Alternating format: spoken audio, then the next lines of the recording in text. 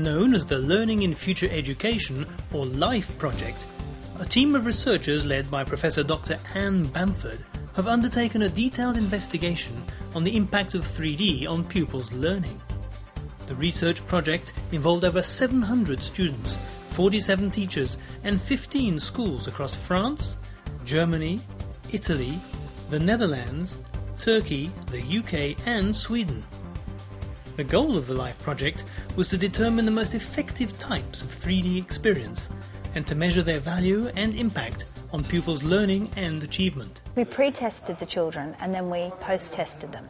And I think a significant thing was is that children in the usual classes, so in the 2D classes, around about 50% of the children are actually not learning anything. So actually their post-test results were less than their pre-test results or the same. So you've had six to eight weeks of learning without any changes in the children's learning.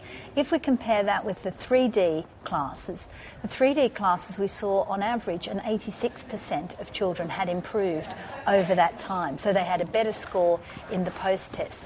What was then interesting is when we looked at the children who'd improved, both in the 2D class and in the 3D class, we found that the children in the 3D class, the rate of improvement was double the rate of improvement for the 2D children. So, putting that simply, not only had the 3D children improved significantly more in terms of their test scores, but the rate of improvement was also better, which I think is really interesting.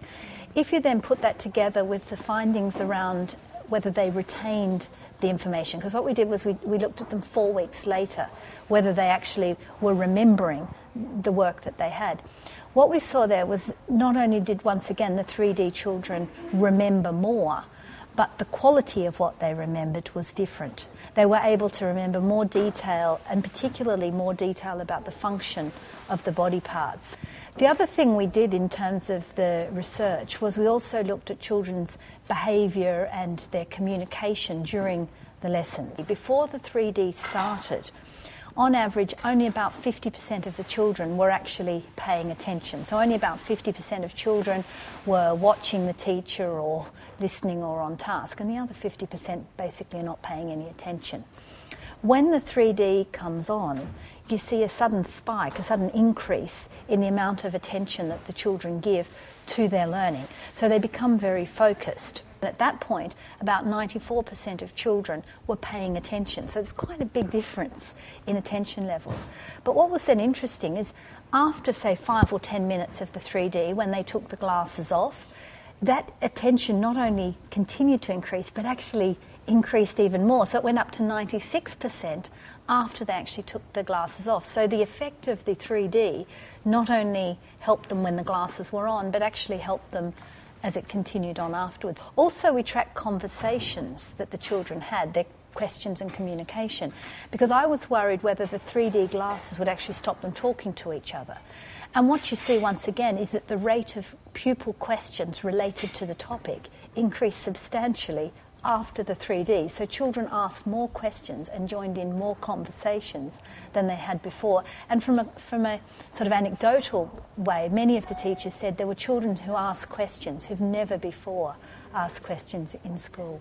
Now, I just want to finish on a quick story, which is from a French classroom a very good French teacher was, was our pilot teacher, and he did a lesson where he literally had everything. He had worksheets. He had a. he began the lesson with a film of a guy having a cardiac arrest, and the children had to theorize what you know why he was lying on the ground and what was happening, and so on. And then he brought out real sheep's hearts for the children to cut up, right? And so suddenly this French classroom was full of all these sheep's hearts and you know, the children are, you know, reluctantly sort of dissecting and all the rest of it. And at the end of the lesson, I was interviewing the pupils, and I said to them, Well, you actually had three lots of 3D in your classroom because you had the virtual 3D, you had a plastic torso model, which was 3D, and you also had the real heart, which was 3D. I said, Which one did you prefer? And I thought they would all prefer the real heart. And they said, 100% of them said, we preferred the virtual 3D because it's more real.